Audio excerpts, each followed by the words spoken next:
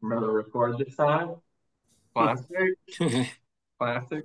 All right. So, uh, for those, so everybody except for my dad, Mike Heisman, uh, was not on the last one. He's joining us. Um, Winning. And then uh, Curtis, uh, who is a friend um, and fellow man on the frontier, um, is also joining us, uh, philosopher by nature. Um, so the we had left off on uh, three, very beginning of Canto three, um, and we had kind of just gone through the all caps entrance, where it talks about you know this like very ominous words. I'm uh, I am the way into the city of woe, the way into eternal pain, the way to go among the lost. And then we talked a little bit about how this concept of justice caused my high architect to move in this idea that um, in a strange sort of way, there's this Dante's making the statement that hell itself was was created by God, um, and this idea of like, uh, can we even really have justice, capital J, justice? The idea of justice in its pure form, if people don't receive what they gave. Um, so that's kind of and then and then obviously the very last line above the gates there abandon all hope you who enter here. So what we learn when we learn here like ultimately this is a theme that's going to follow us the rest of the inferno. And um, it's a poem about hope and the lack thereof in the inferno.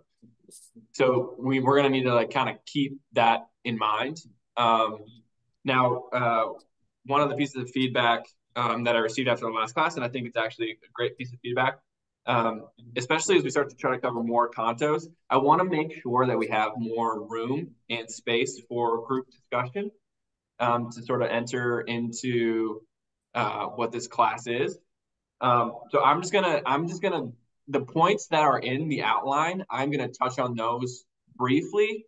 But if at any point in this, I'm going to pause and ask a few questions kind of throughout and look for a little bit of discussion.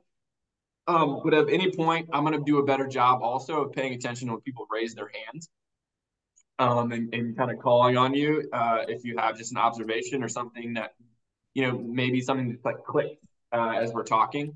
Uh, please feel free to chime in and make this a collaborative thing. Um, so the we did talk also last time. Uh, Bob, you you had mentioned, if you remember, uh, I think it was when we were talking about these doubts that Dante was having in second canto about making the trip at all, and how like um, you know thinking eats away our enterprises, and and and how that's a, it's it's sort of this foreshadowing of the people we meet in this vestibule of the inferno who are stung into motion. And so that's that's sort of the first folks that we meet in the inferno after they pass through the gates.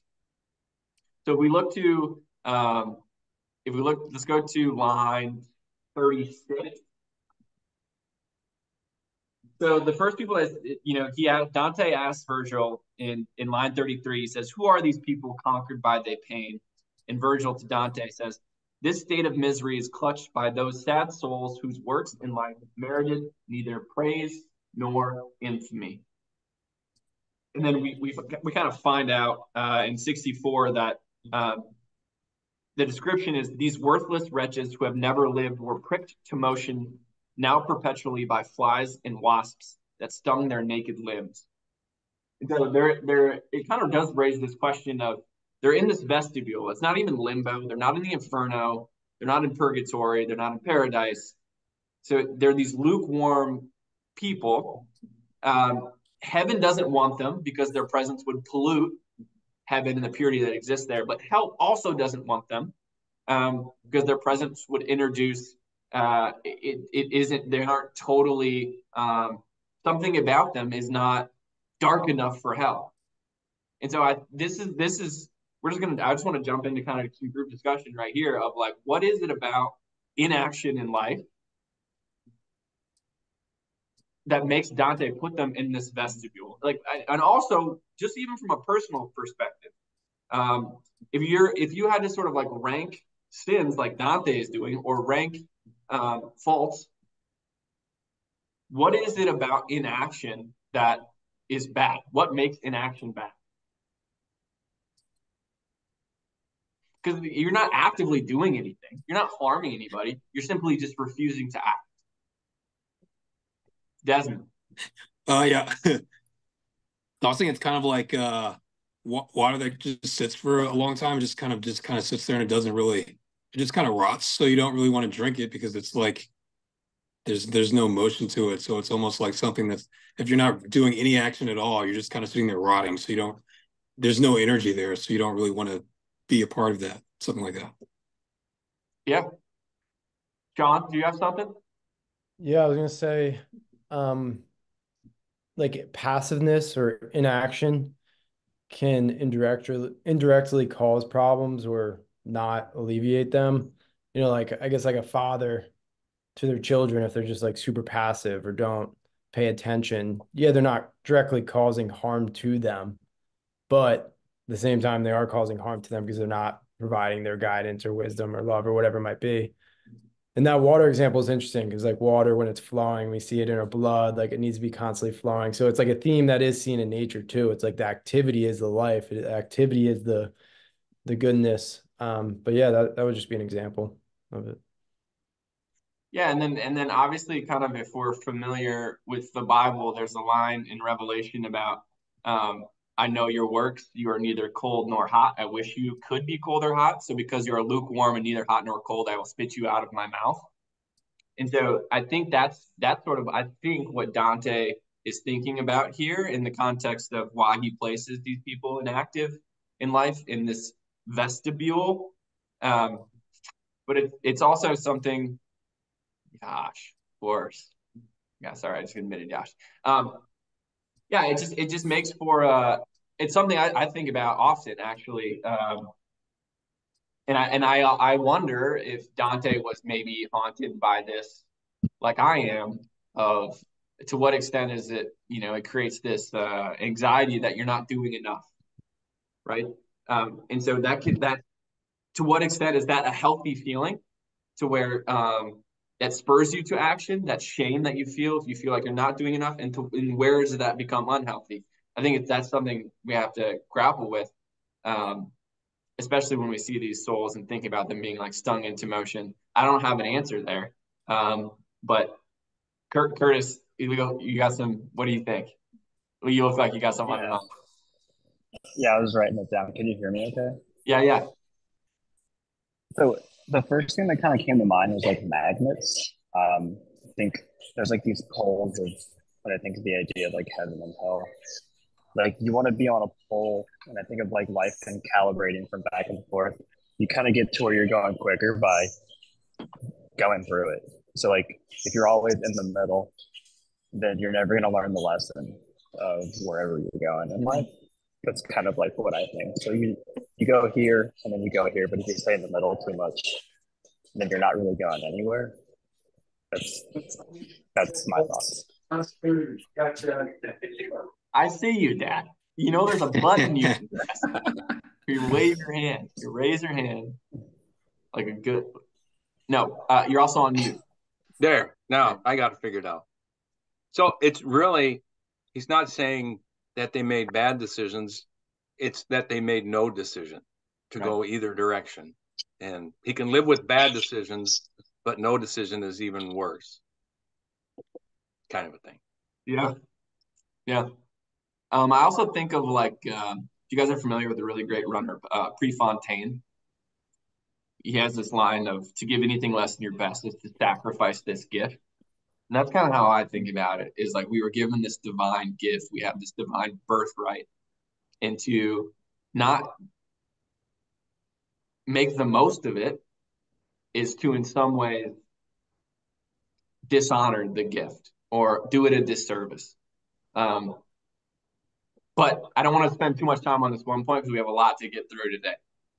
So the one other thing i do want to mention we, we already talked about how this is a poem about hope and so i, I think it's worth how many of you are familiar with uh, the myth of sisyphus either the actual Greek myth or the book by Albert Camus, besides Curtis. So, eh, okay, so um, the myth of Sisyphus. Sisyphus is the Titan, and his punishment in Tartarus is he's forced to push a boulder uphill, and when he gets to the top, it goes back down, and he has to push it all the way back up the top, and he just repeats that cycle over and over again. Albert Camus, uh, philosopher from the early 1900s, uh, sort of used the myth of Sisyphus in an essay of the same name, where he talks about um, our state as human beings being like Sisyphus, where we, like Sisyphus, are destined to hopelessly roll this boulder uphill for all of our lives. Now, Camus also talked about this idea of the absurd, um, the absurd referring to this idea that uh, he, he thought human existence was absurd because we have a natural inclination to seek meaning in what he thought was a universe devoid of meaning. And so Camus' universe is one without the theological virtue of hope, hopelessness. We think about the spirit of our current age. Nihilism comes from uh, nihil, is Latin for nothing. And so there is this sort of idea of nothingness. So when we're saying abandon hope, you who enter here, in, in a lot of ways, we might think about sort of in the lens of our modern culture and the spirit of nihilism, of us sort of putting ourselves, we don't we don't need we may not even need an external hell because we've made a hell of ourselves in giving up hope. Um, and so that that's where it's worth sort of thinking about uh, if we remove that as a virtue, if we remove hope um, and sort of just continue to allow ourselves to wallow in something like nihilism, um, that puts us in Dante's hell. So it's that's sort of like worth thinking about, I think, psychologically. Uh, I don't know if anybody has any reactions to that, but uh, I just want us to kind of keep that in mind. Again, we're going to keep circling back to hope. The um, I'm going to go forward to lines 112. So this, if if thinking eating away the enterprise in Canto 2 is my favorite image, this is my second favorite image. And so this is just this is right after Dante and Virgil encounter souls in what I call Hell's Lobby or the vestibule, and they come to a river we talked about this a little bit. They, they come to a river uh, where they cross over into hell proper and they separate themselves um, from divinity entirely. So this is the past the point of no return. So in line in lines 112, it says, as in the fall when leaves are lifted off, one drops another till the naked branch sees all its garments lying on the earth. So the bad seed of Adam, one by one, toss them shells themselves from the shore at Charon's sign as hawks returning to the master's call. Now, if you remember who his guide is, Virgil, uh, this is also him paying homage to a line in uh, Virgil's Aeneid, where uh, Virgil makes a, a very similar.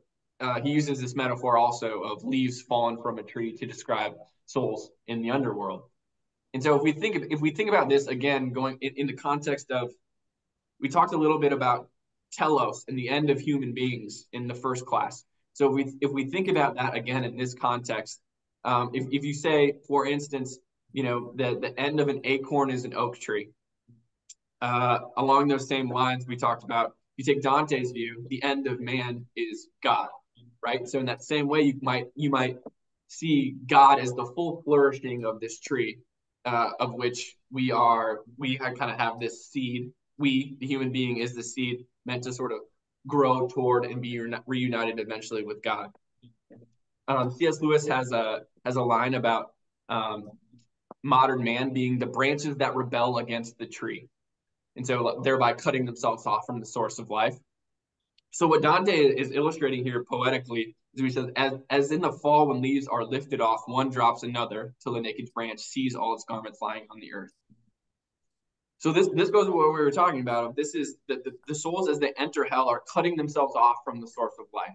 And so that is also how they're cutting themselves off from hope. Because if you view the world hierarchically like Dante does, then what he's saying here is that the, the relationship, their ability to ascend, the natural desire to ascend towards God, they can no longer do, which is why they're in eternal misery um, when they're falling off the tree, the tree sort of representing God here. Um, and so that with with that they you know he he sort of watches the um, he watches the folks uh, put themselves in Charon's boat boat and then they get shut off into hell. Uh, and then we move into Canto four, and then Canto Canto four is where it's just it gets a little convoluted, but uh, we move into limbo.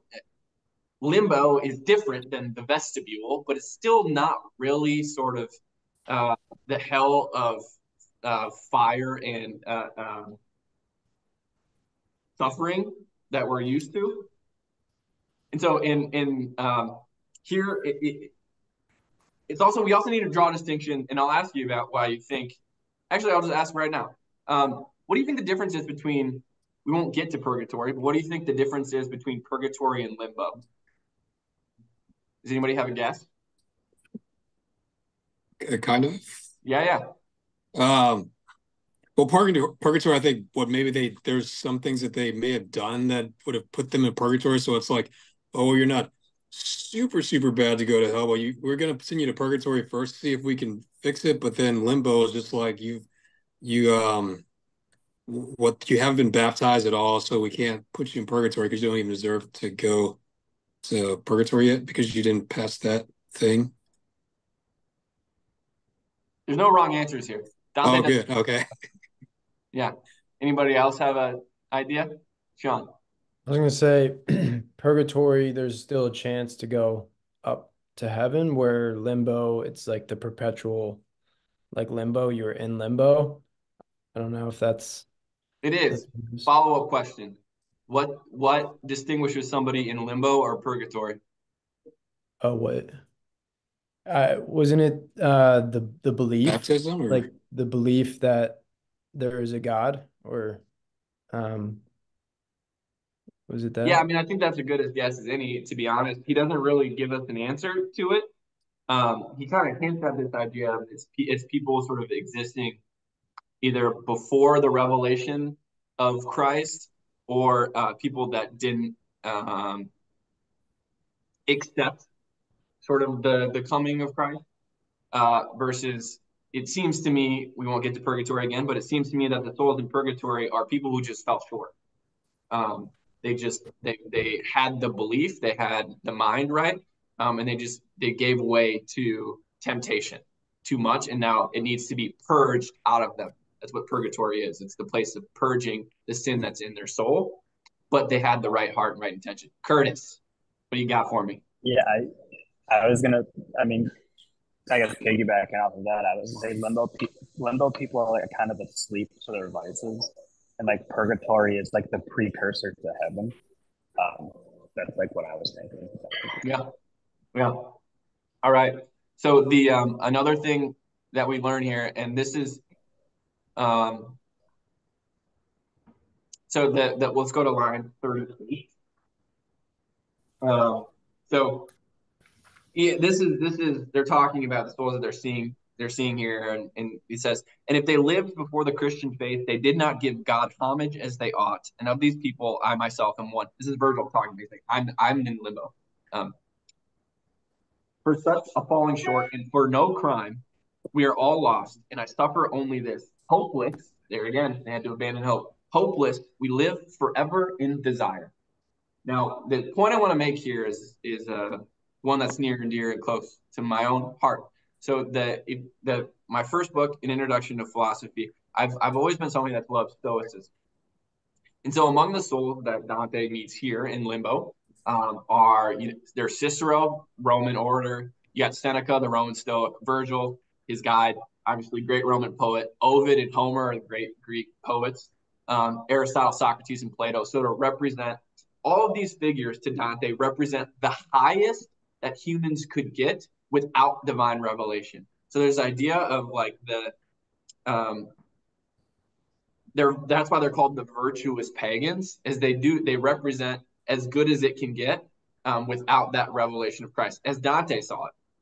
And so because because they didn't have that full and complete revelation, they're lost forever without hope. They're, they were without hope forever lost in desire. This is why my personal thesis um, in the same way that there was a natural progression from sort of Greek to Rome to the idea of Stoicism, and then there's there's a bridge from that to Christianity because Christianity fills a gap that uh, all the best Greek, Roman, and Stoicism can't fill. And so I, we've seen a, uh, this is again my personal thesis, we've seen a rise in Stoicism recently, thanks to Ryan Holiday and others. And I think that that is sort of this preparation of there's going to be a next step because Stoicism does lack something. It lacks a certain divine quality.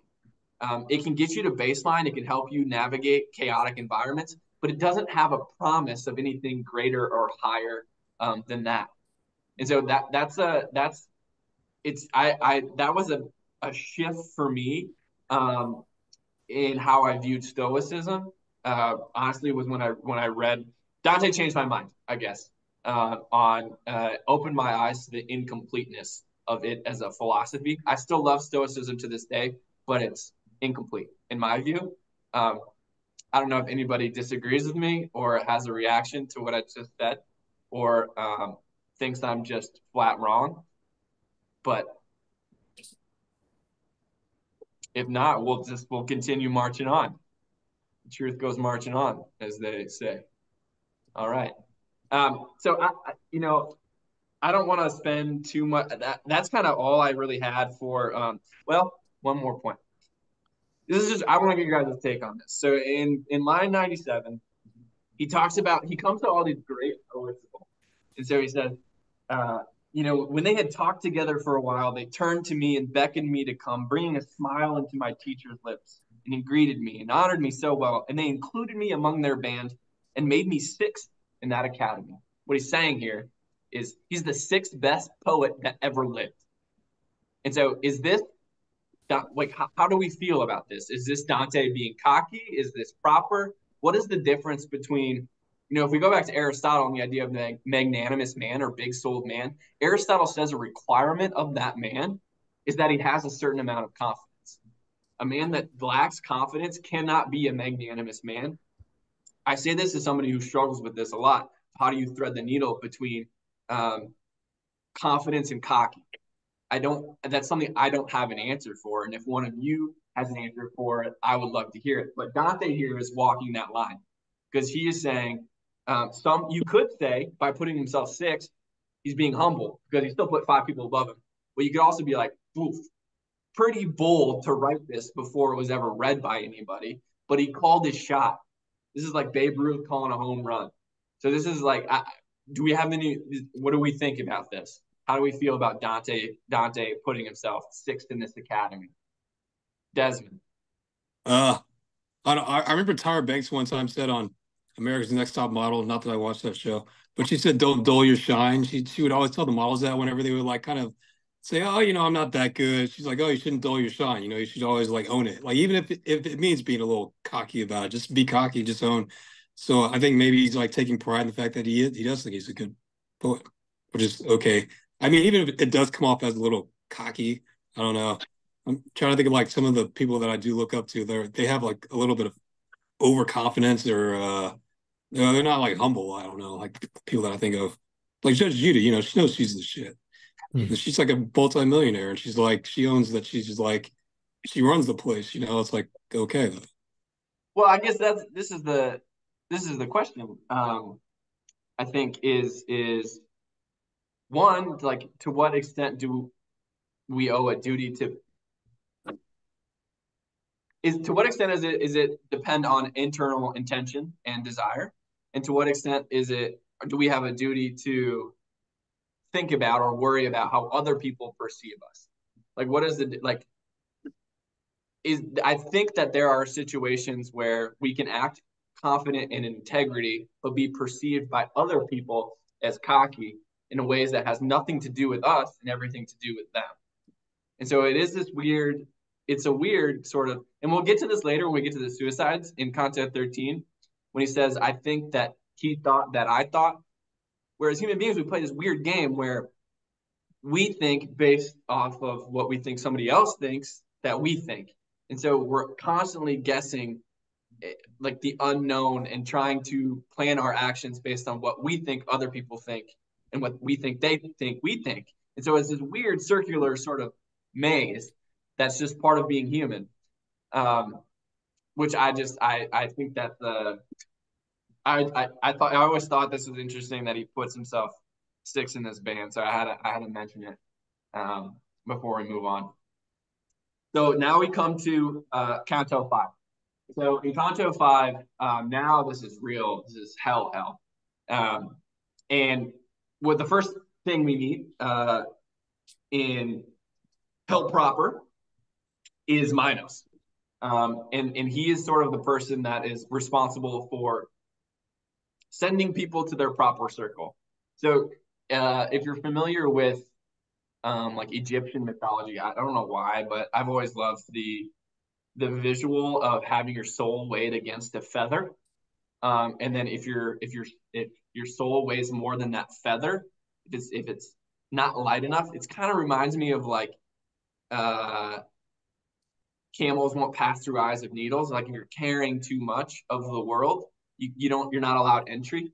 Anyway, and so the they come to Minos, the souls the souls die, uh, they go to hell, they kind of come to this platform uh, of Minos, and and in line four, you know, he talks about horrible Minos grunts like a bull, weighs all the sins. So this is the idea of like your soul weigh more than a feather. Weighs all the sins and sends the wicked down according to how far he winds his tail. So somebody comes in, Minos weighs them, say spins his tail nine times, then they go among the traitors where you find uh, Judas and Satan. Um, that's just the instant. And so the the also in a weird sort of way, the souls when they go there, this is line seven. I mean that when one born in evil hour appears before him, he confesses all, and then Judge Minos, the sin connoisseur, discerns what place in hell is fit for him belts himself with his tail as many times as there are grades the sinner must descend. Ever before him stands a crowd of souls. They step up one by one to testify. They speak and hear, and then are formed below. So it's a weird, it's a weird thing that's happening here. Why do we think? Why do we think they confess all before Minos? Why is why is Minos the judge here, not God? Like who who is the judge that sends them to hell in the first place? Like how how does what do we think? Why do we think Dante does this?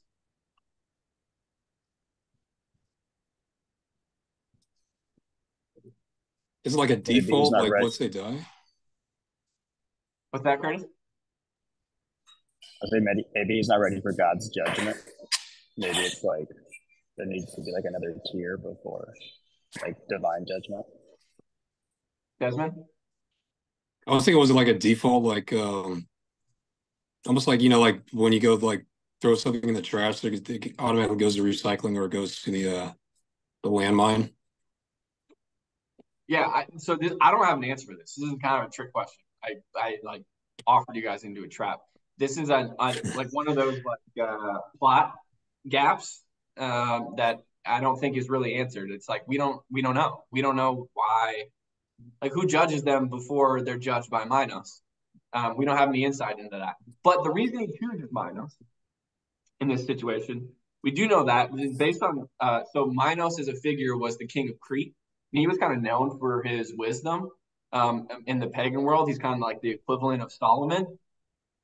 You know, until of course he fails to sacrifice a bull back to Poseidon, and then the Minotaur is created and creates that whole episode.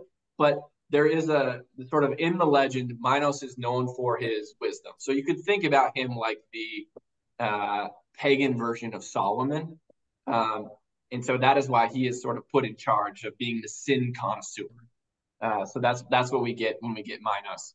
Um, the so after after their encounter with Minos, and they move into uh, the realm of the lustful. And so this is sort of the first real uh, band of um, sin, I guess, that we see. Uh, so in this circle, he sees the souls caught up in a relentless wind, and that sort of like blows them all about. Uh, in the same way that their lustful desires move them in life. So if we if we look at line 31, he says that hellish cyclone that can never rest snatches the spirits up in its driving whirl, whisks them about and beats and buffets them. And when they fall before the ruined slope, ah, then the shrieking, the laments, the cries, then they hurl curses at the power of God. I learned that such a torment was designed for the damned who are wicked in the flesh, who made their reason subject to desire. So this is a theme of every sin. Um, in the Inferno, which is sort of our first look at it. He says they made their reason subject to desire. So this is where uh, Dante betrays his loyalty to the ancient Greek world and their love of the logos, that is reason, man's ability to reason as the divine capacity and capability within man. And so what Dante is saying here is that what vice is, what lands somebody in, is, in hell is when um, basically they they betray their the divinity, the higher, the reason, uh, in favor of the flesh. When they let the flesh call the shots, that is sort of all of these sins, all of these souls in hell are guilty of that thing, and then it's just a matter of uh, in in what um, in what circle that they end up. Now, there is a, a weird, random, open question that we kind of have to speculate. Another one we have to speculate on, and it's like, well, how do we? How does it? How does it? In all likelihood, the souls that are in Canto or that are in the Circle Two, we're probably guilty of some other things also, right? We're not all like all of us struggle with all of the vices. All of us do all of the things. So it does cause it raise this question of, well, is it the is it the one that they struggle with the most? Is it the predominant one, or um, you know what determines why one would go to two versus three if both of them were in them? Um, and we don't really get an answer to this question from Dante. So this is another one we're sort of forced to speculate on. So I don't I don't know. Um, I don't have a great answer for this. Like why, if it's the the best I can offer is that um, I think I think Dante might say it's like it's it's their predominant.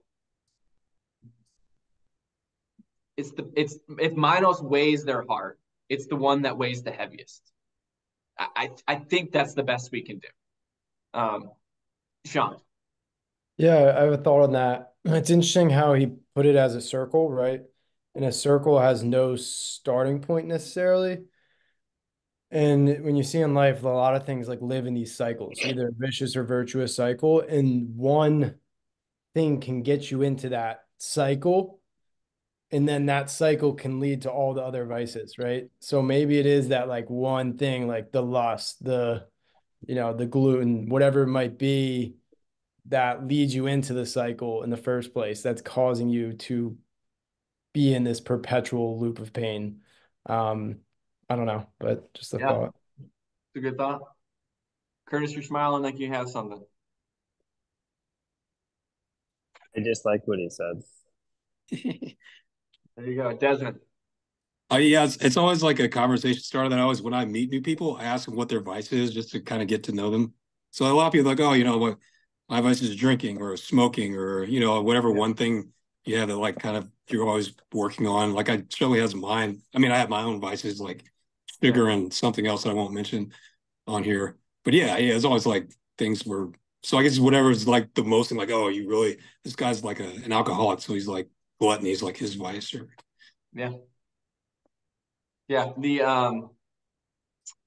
The other thing, uh, I guess to, to, to mention here also, as we sort of move into uh, the various punishments of the various rings.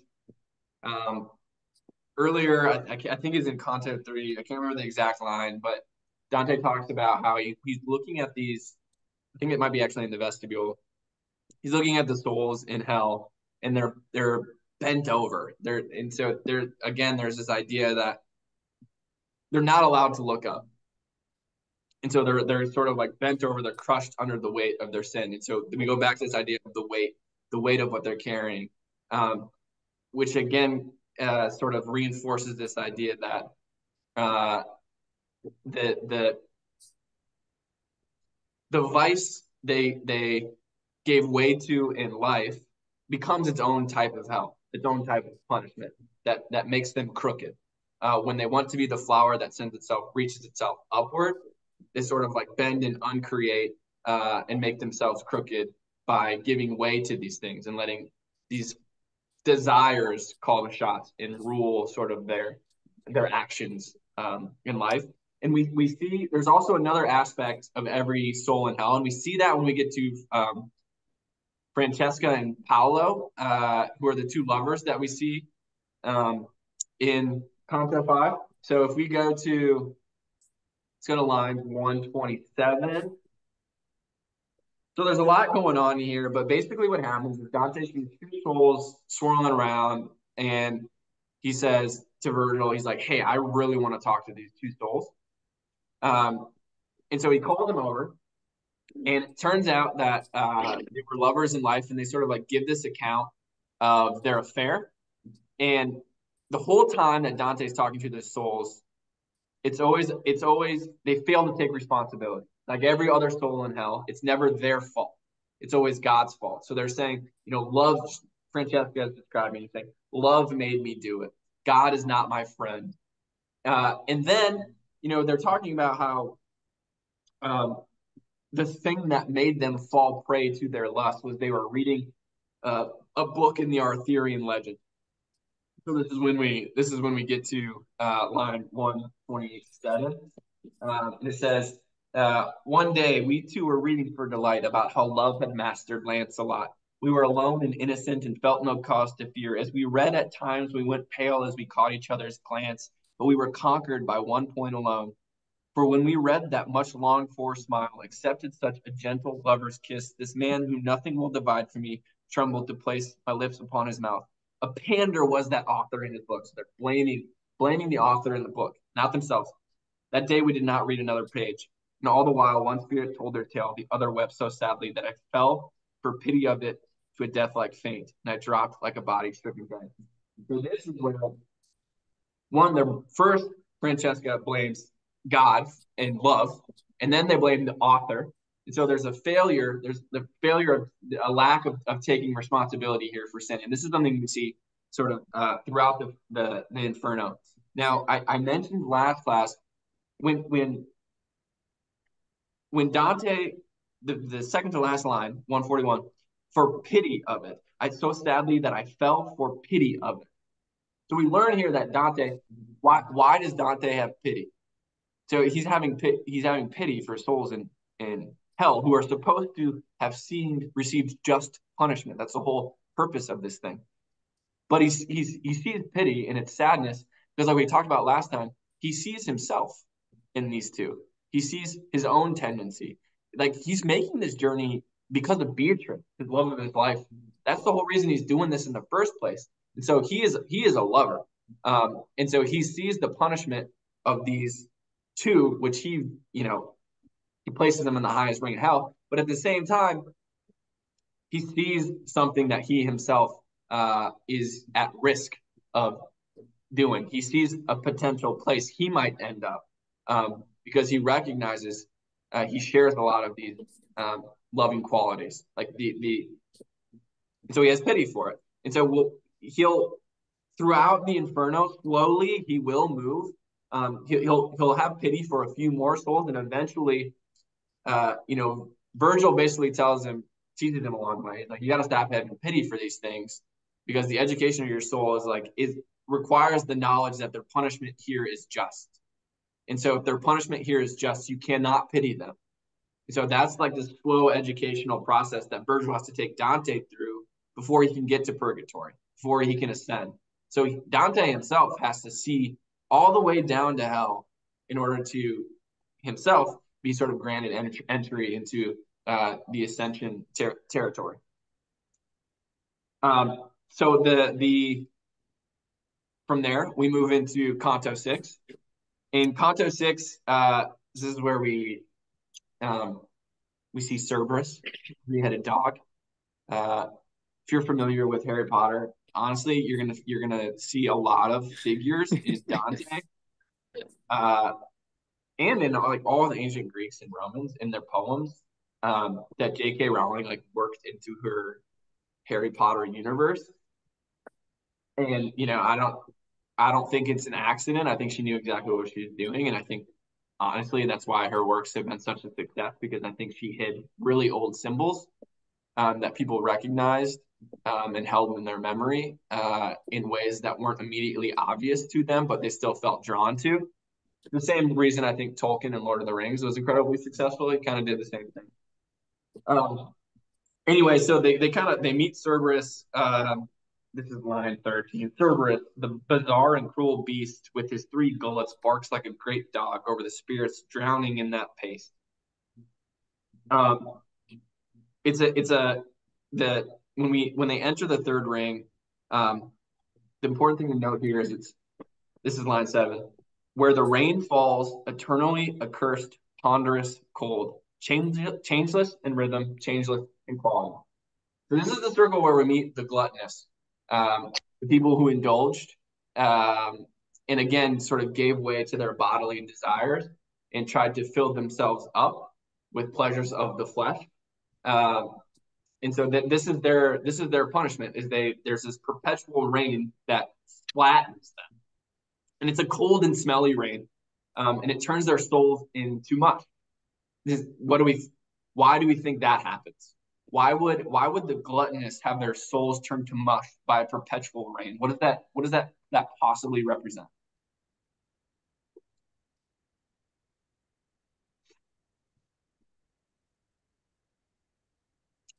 All right. Well, uh, Desmond, you have a guess? Uh, just to kind of wash away the ickiness of them just being so gluttonous. To drown them out, maybe. Yeah, yeah. So the the at the what I think is happening here is it's kind of this slushy mix. So if we think about the soul as this pure thing, this light thing, and all of a sudden you enter into again, go back to the idea that Minos weighs souls at the beginning of hell. And so when you give way to gluttony, you, all of a sudden you start to eat and, and gluttony isn't just isn't just limited to food, but you start to consume things to try to fill you up. You start to pollute the soul, the purity of the soul. You're introducing sort of this mix. It's no longer a pure thing. So that's why it becomes this weird sort of slush. Um, and so it can't lift. It's weighty, it's heavy, and it's drawn downward. So that is that's what I think is happening here with with why they're just pelted by endless rain and turned into slush. Um, and it kind of goes back to uh, this idea that when they enter hell, they have the cord of their telos cut, and this is this is a, the point I make in in the outline. So um, when he when when when Dante sees the souls as a polluted mix of slush for the sin of gluttony, he, Dante turns to Virgil and he asks them whether they will always be in such a state.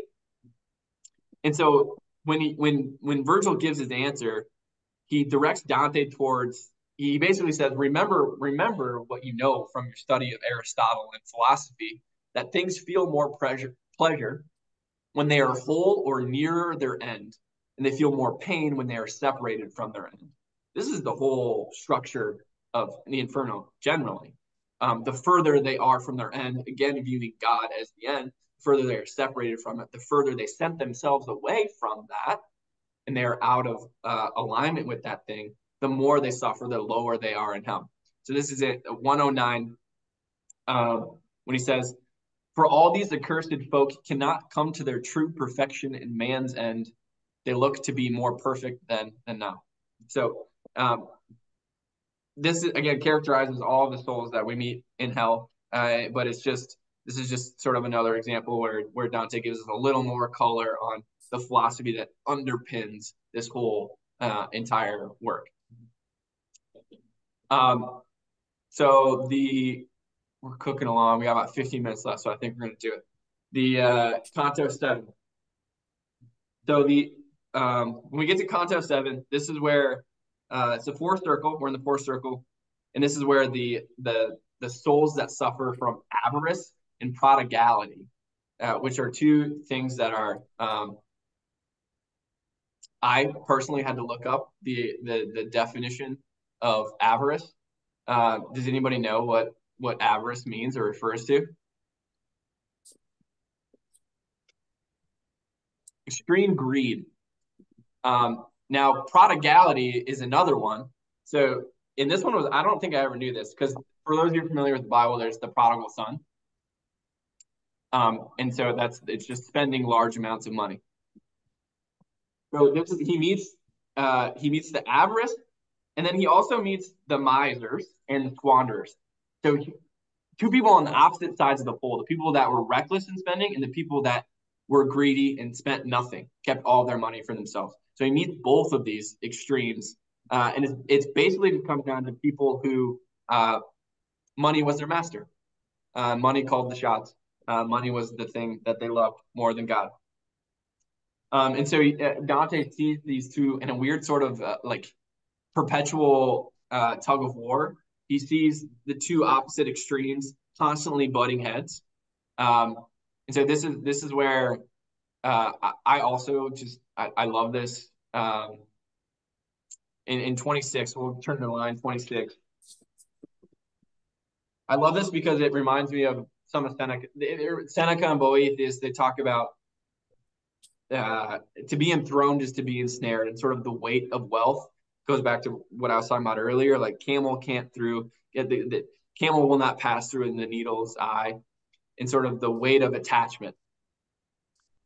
So he sees the two the two uh, types of souls butting heads, and he says, um, line twenty eight.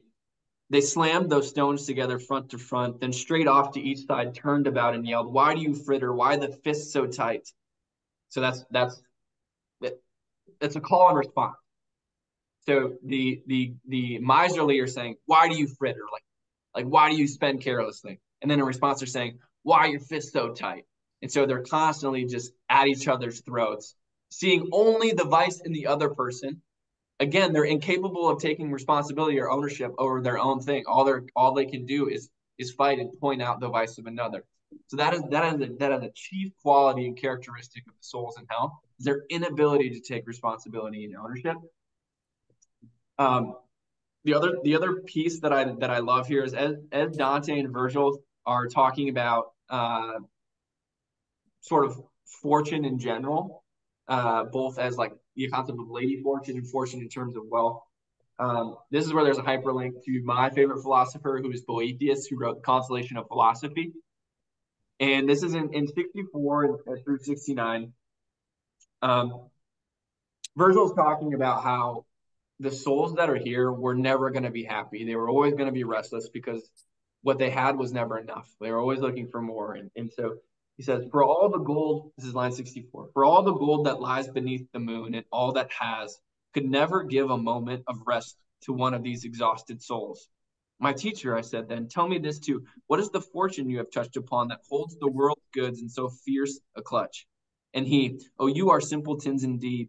How deep the ignorance that injures you. I'll give you the bare truth that you may feed. He who is transcendent wisdom passes all, fashioned the heavens and gave each sphere a guide, that every part might shine to every part, distributing the splendor equally.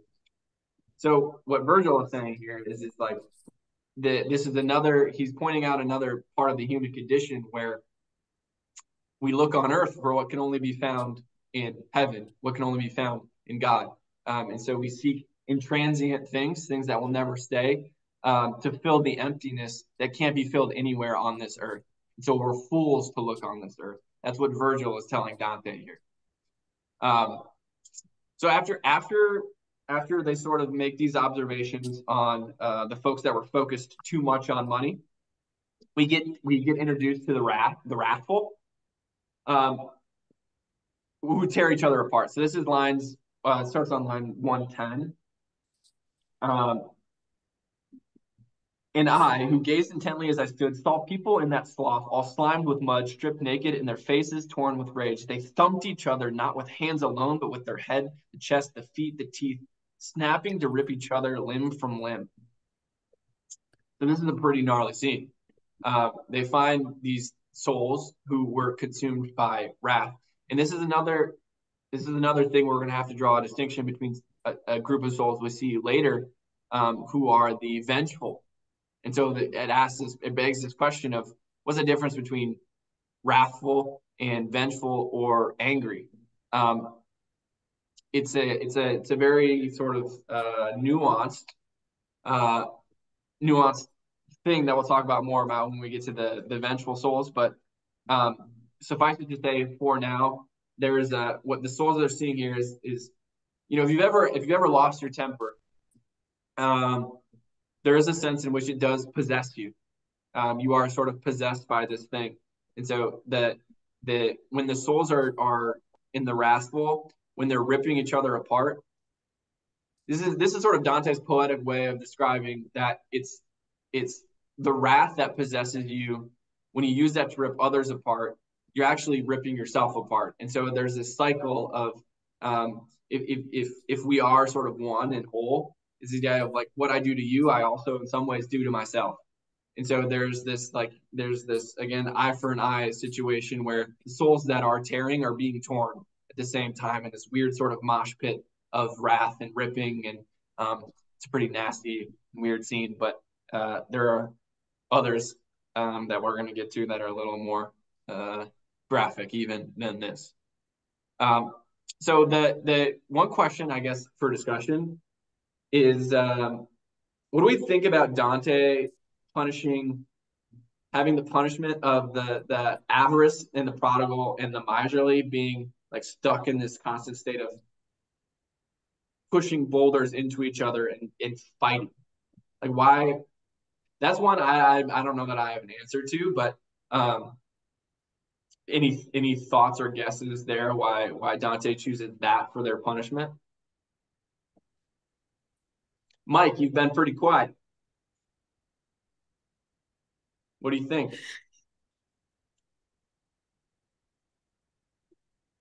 I don't know. You have given me so much. My brain is starting to get overloaded here.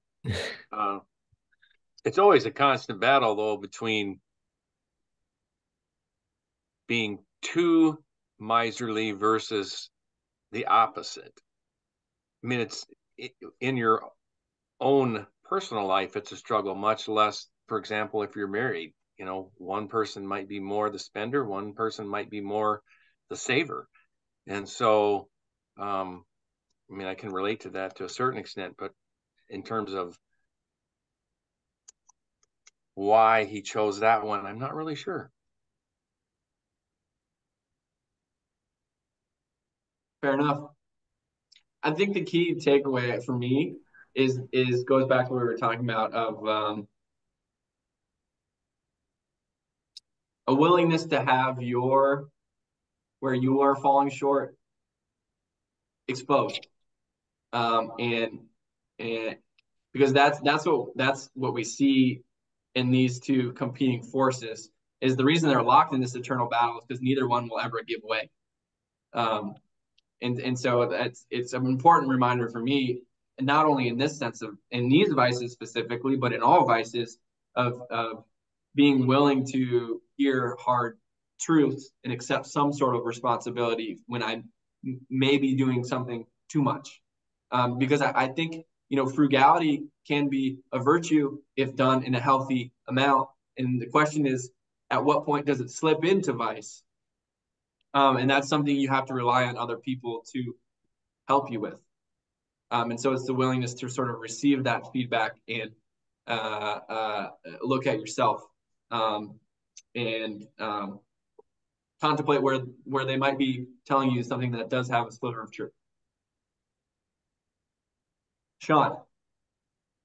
Um, I think uh, for this punishment, like why it is, it, it kind of goes back to what we are we are saying in the beginning of like there needs to be this motion where those two things compete with each other. Like I, I'll put it back to the water analogy where you have one side, someone trying to hold all the water and block it and have a dam in the river.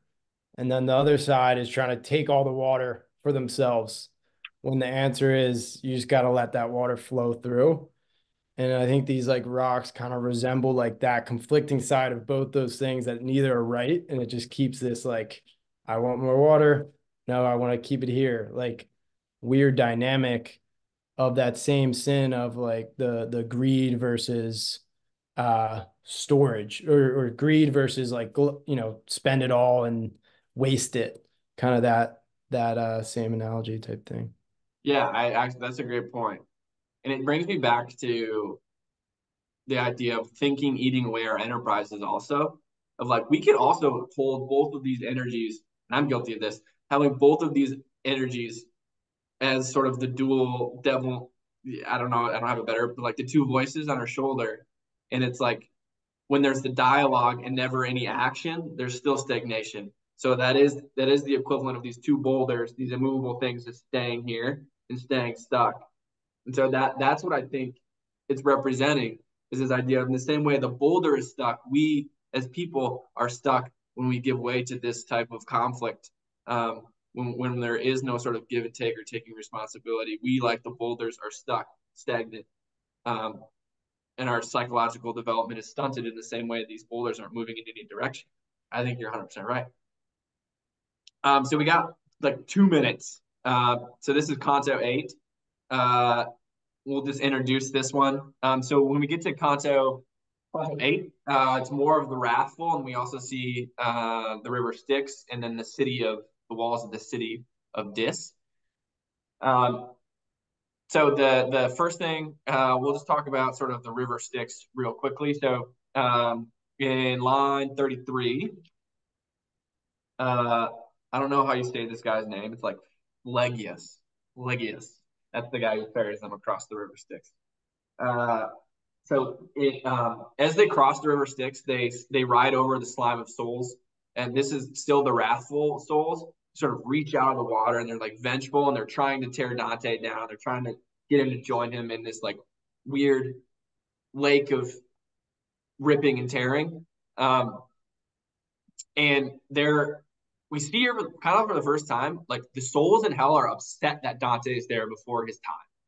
There's like the secrets of, of, of hell. They don't want the secrets to get out to the world of the living. Um, it's kind of that misery loves company sort of idea they don't want Dante to go back and tell people of this world that they're in. They want more people to join them so they feel better in some way about their own sort of state of misery. So when they when Dante meets this uh, Filippo Argenti and across the river Styx, uh, he he says in line 33, "Who are you to come before your hour?" So he's pissed.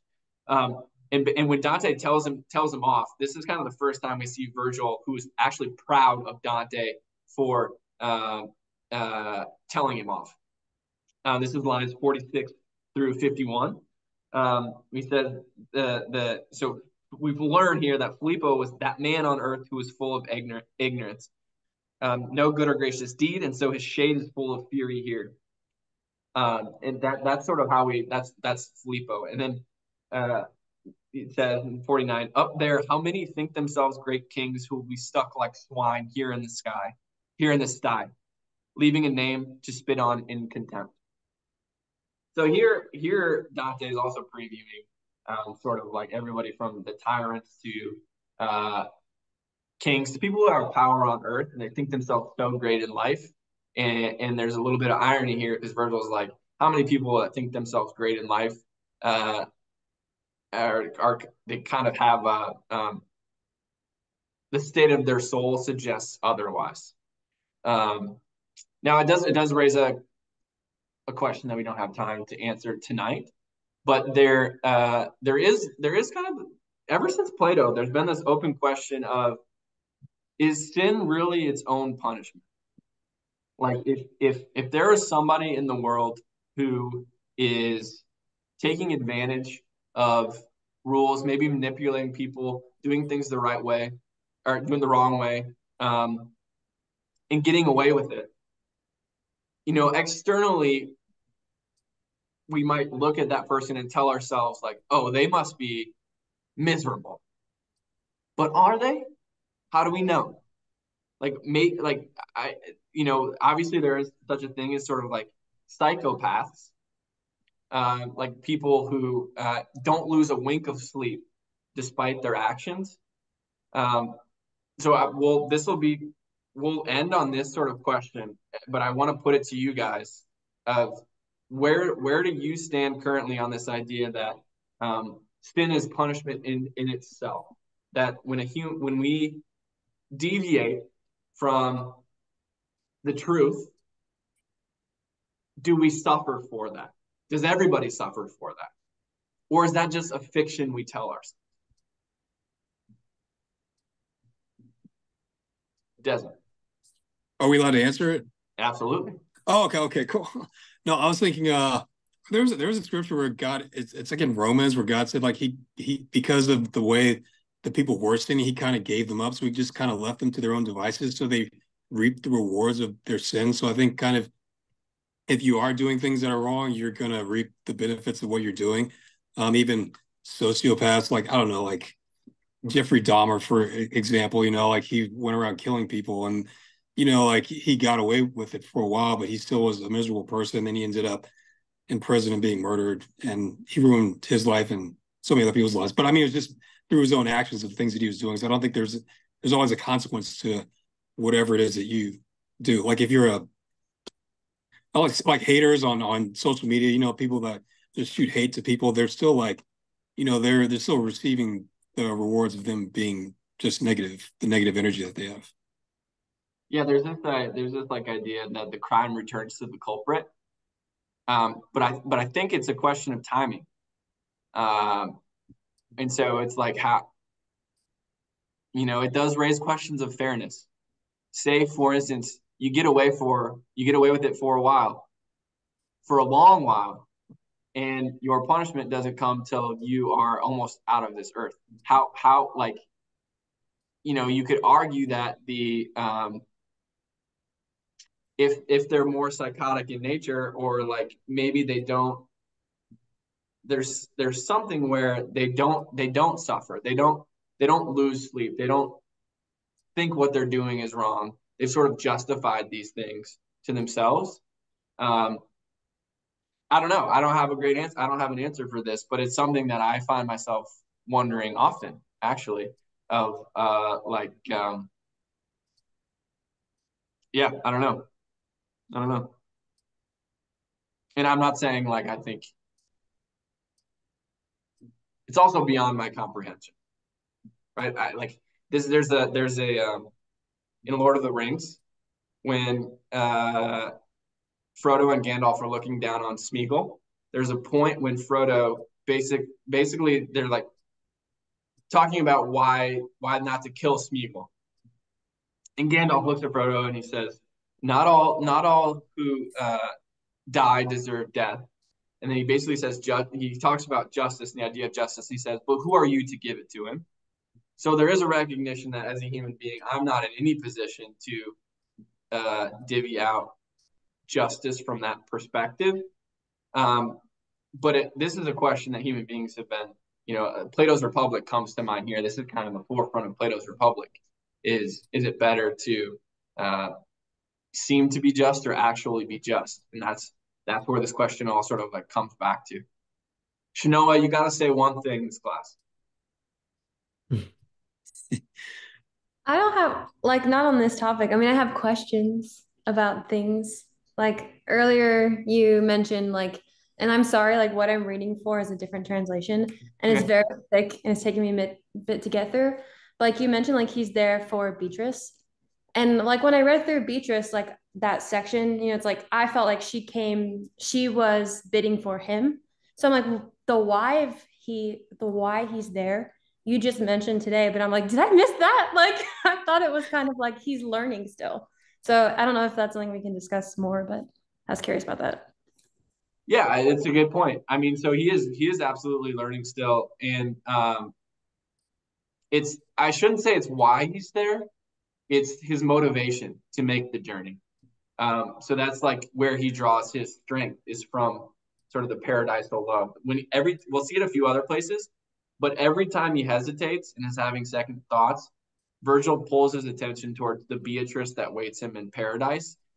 But it's this idea that like it's it's love that moves all of the things.